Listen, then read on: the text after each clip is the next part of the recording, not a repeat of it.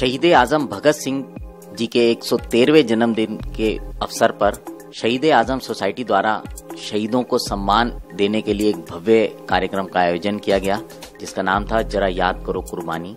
इस कार्यक्रम में 101 शहीदों के दुर्लभ जो चित्र हैं, उनकी प्रदर्शनी लगाई गई थी। एक राष्ट्रीय स्तर का कवि सम्मेलन हुआ, और उसके अलावा कई सारी सांस्कृतिक प्रस्तुतियाँ की गईं। और ये कार्यक्रम हुआ था दीनदयाल उपाध्याय कॉलेज सेक्टर तीन में। इसमें मुख्य अतिथि थे परवेश साहिब सिंह वर्मा, जो कि सांसद हैं पश्चिमी दिल्ली के। और विशिष्ट अतिथि थे श्री अशफाक जी, जो कि अमर शहीद अशफाक उल्ला के पौत्र हैं। और श्री क्रांति कुमार जी, जो कि क्रांतिवीर गया प्रसाद जी के पुत्र हैं। वो यहाँ पर एक विशिष्ट अतिथि के रूप में रहे इस कार्यक्रम में। और इस कार्यक्रम की अध्यक्षता की डॉक्टर हेमचंद जैन, जो कि प्रिंसिपल हैं डीडीयू कॉलेज के।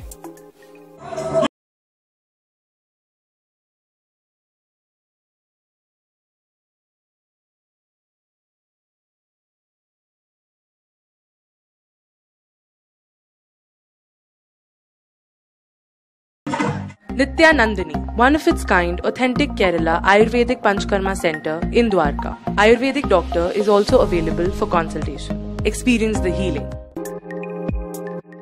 Dwarka Agrawal सभा द्वारा महाराजा अग्रसेन जयंती महोत्सव 2019 मनाया गया और यह कार्यक्रम हुआ द्वारका सेक्टर पाँच की मार्केट पे इस मौके पर भजनों का कार्यक्रम हुआ जिसमें कि द्वारका में रहने वाले अग्रवाल समाज के काफ़ी बड़ी संख्या में लोगों ने शिरकत की इस मौके पर समाज के लोगों ने गणमान्य व्यक्तियों को सम्मानित भी किया इस कार्यक्रम में पश्चिमी दिल्ली के पूर्व सांसद महाबल मिश्रा को भी सम्मानित किया गया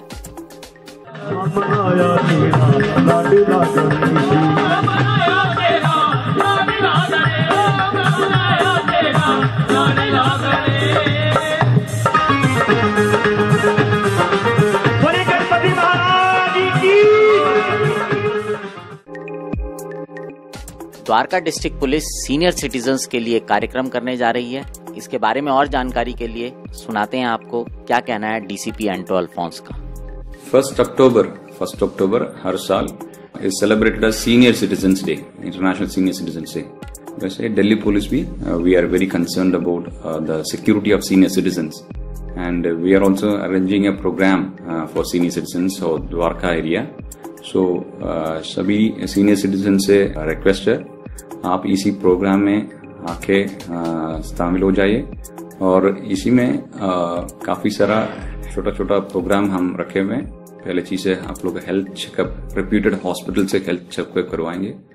और सेकेंडली आजकल साइबर क्राइम के बारे में काफ़ी चर्चा चलता है। Because most of the senior citizens get duped by the cyber criminals इसके बारे में बारे में जानकारी हम देंगे। और इसके अलावा बाकी जो योगा और health and wellbeing of the senior citizen के बारे में डिस्कशन होगा।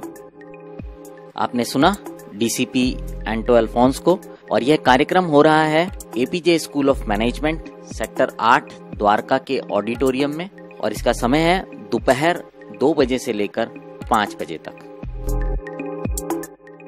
भारत की सांस्कृतिक विरासत को सुरक्षित रखने के लिए एक अनूठे प्रयास के तहत रामलीला का मंचन द्वारका के सेक्टर तेरह डीडीए ग्राउंड में संपूर्ण बाल उत्सव रामलीला समिति द्वारा रामायण की झलक लीला का आयोजन किया गया है। इसमें 43 गैर सरकारी स्कूल के बच्चों को शामिल किया गया है। पहले दिन राम और सीता के स्वयंवर का जेएम इंटरनेशनल स्कूल के बच्चों ने मंचन किया। इस अवसर पर मुख्य अतिथि के रूप में पृथ्वीराज साहनी आरपी खंडेलवाल, रुद्रपाल हरेंद्र सिंघल सहित कई गणमान्य लोग उपस्थित थे। बच्चों द्वारा तैयार और विशेष समूह की देखरेख में इस तरह की रामलीला के मंचन का किसी ने कल्पना नहीं किया था। समिति की अध्यक्षा प्रीतिमा खंडेलवाल ने कहा, इस रंगमंच के ज़रिए उनका प्रयास अति संवेदनशील छोटे बच्चों के मन में अपनी संस्कृति तथा मूल्यों को अपनाने के लिए प्रेरित करना है।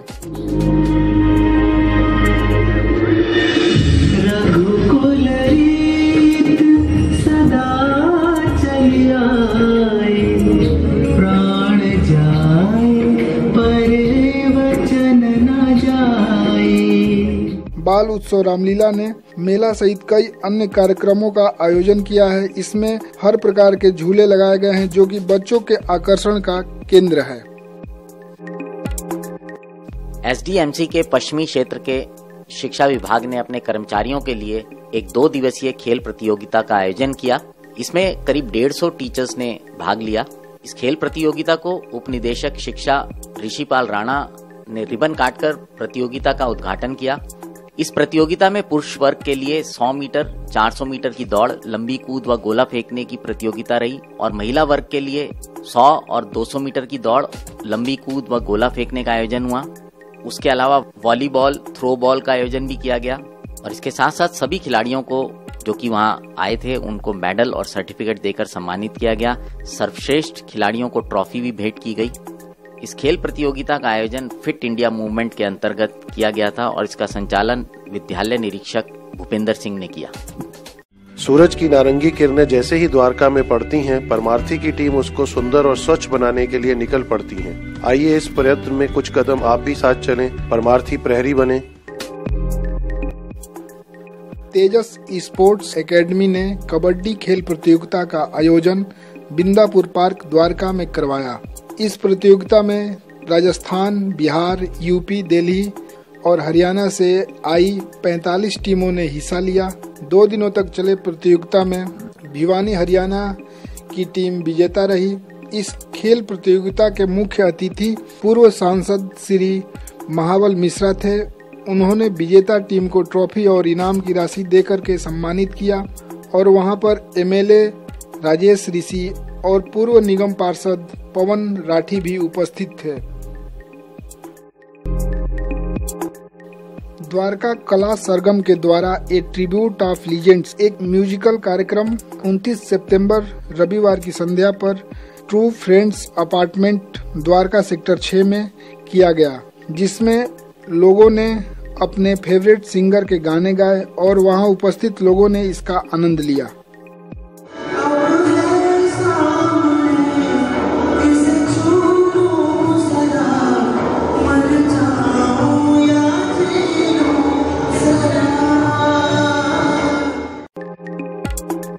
इस तरह की रेगुलर अपडेट्स के लिए आप हमारे यूट्यूब के चैनल को सब्सक्राइब कर सकते हैं और साथ में नोटिफिकेशन बेल दबाना ना भूलें। आप हमारे फेसबुक के पेज को लाइक कर सकते हैं और आप हमारी वेबसाइट डब्ल्यू पे भी सब्सक्राइब कर सकते हैं।